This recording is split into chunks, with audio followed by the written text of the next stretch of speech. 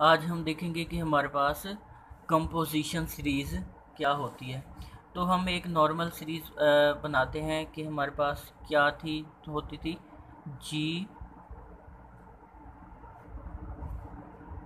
G one G two G three अब टू सोन क्या था हमारे पास।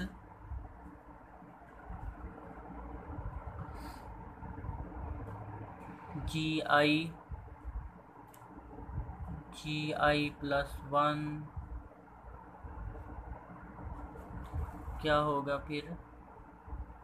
G N is equal to E ये हमारे पास एक सीरीज़ है नॉर्मल सीरीज़ इसको हम क्या बोलेंगे? ये कम is said to B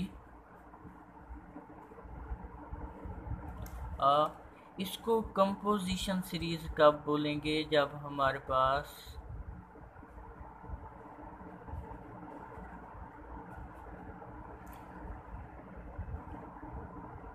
of जी ये जी की कंपोजिशन सीरीज़ कब होगी? इफ़ एंड ओनली इफ़ जब हमारे पास ईच कि हर इसका जो क्वेश्चन ग्रुप है फैक्टर है, वो हमारे पास, ये फैक्टर ग्रुप है, वो क्या होगा? सिंपल अगर है तो वो ये हमारे पास क्या होगी? कंपोजिशन सीरीज़ होगी। Each of its factor group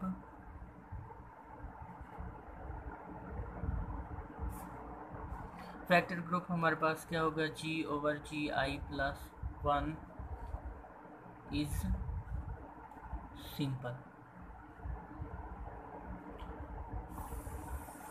अब कंपोजिशन सीरीज़ क्या होती है? नॉर्मल सीरीज़ जो कि, या इसको हम ऐसे भी बोल सकते हैं, ऐसी नॉर्मल सीरीज़ जिसको हम मज़ीद रिफ़ाइन ना कर सकें। या सिंपल कब होगी? जब हमारे पास इसका जो भी फैक्टर ग्रुप या क्वेश्चन ग्रुप लेंगे, वो हमारे पास क्या होगा? अगर तो सिंपल है तो वो हमारे पास क्या हो जाएगी? कंपोजिशन सीरीज़ हो जाएगी।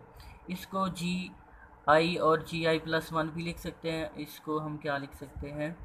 G I over G I minus one भी लिख सकते हैं। ओके अब हम देखते हैं कि हमारे पास इसको आ, ओके हमारे पास कंपोजिशन सीरीज़ की हमारे पास क्या होगी? एग्जांपल क्या होगी?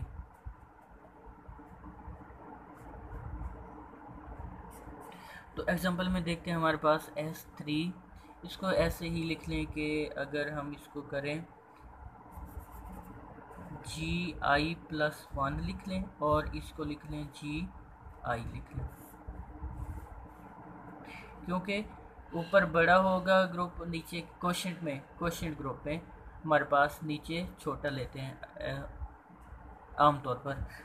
एस इज़ इक्वल हमारे पास क्या है?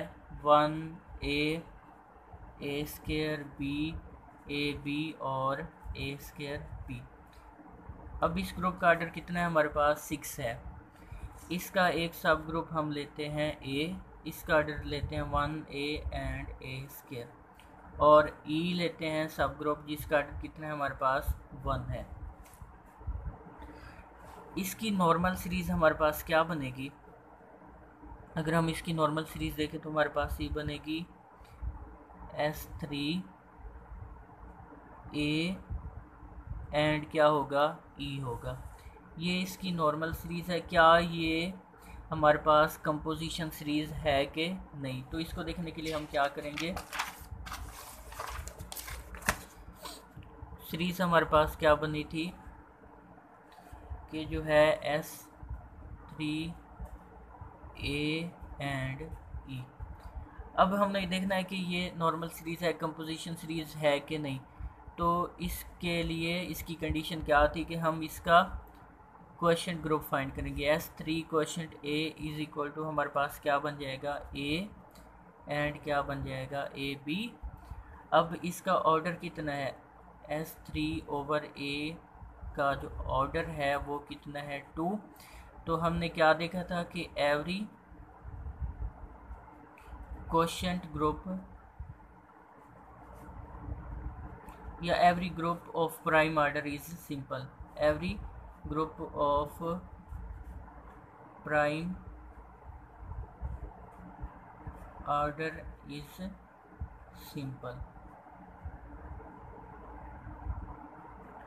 हर क्वेश्चन ग्रुप जिसका आर्डर हमारे पास क्या है प्राइम है, वो हमारे पास क्या होगा?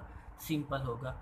दूसरा हम देखते हैं कि अगर हम ए और ई e के दरमियान क्वेश्चन ग्रुप बनाएँ तो हमारे पास वो क्या बनता है? वन ए और हमारे पास क्या होगा? ए स्केयर अब इसी थ्योरम के मुताबिक हमारे पास every question group of prime order क्या होता है? सिंपल होता है।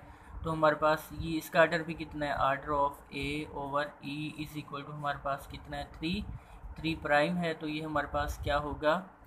Is simple group